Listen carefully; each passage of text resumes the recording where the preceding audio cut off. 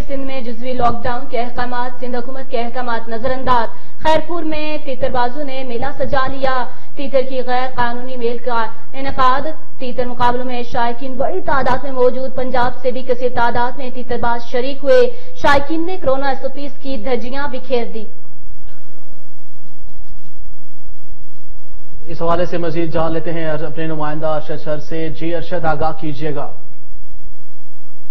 जी, बिल्कुल corona virus के cases में इजाफा होते ही सिंध हुकूमत के ऐलान के बाद सिंध भर में लॉकडाउन पर अमल दरामद कराया जा रहा है।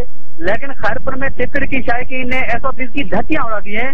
खैरपुर में तितर की बड़ी तादाद मेल मुनद की गई है। यह तितर की मेल खैरपुर के इलाका गुम के करीब गैर कानूनी मेल मुनद की गई है।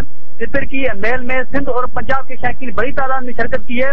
तितर की मेल में शरीक हज़ारों अफराद में से किसी अच्छा, ने भी अरशद अरशद बताइएगा कि इतना बड़ा यहाँ पे मुकाबला मुकाबले का इनका हो गया। इंतजामिया कहाँ सोई रही? किसी ने कोई एक्शन लिया इस हवाले से या बिल्कुल खामोश रहे?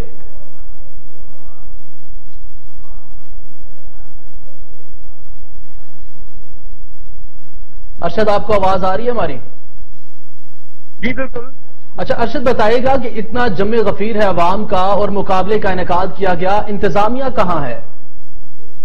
जी बिल्कुल इंतजामिया किसी किस्म के इकदाम नहीं किए जा रहे हैं। एसओपीज पर अमल दरामद जो है खैर पर इंतजामिया नहीं करवाया जा सकती। और जो है यहाँ जो है बड़ी तादाद में जो लोग जो है यहाँ इकट्ठे थे और एसओपीज पर किसी किस्म के इकदाम नहीं किए जा रहे थे। नहीं मास्क पहना हुआ था नहीं कोई फासला का ख्याल रखा गया था। जी। बहुत शुक्रिया अरशद आप हमें आगाह कर रहे थे।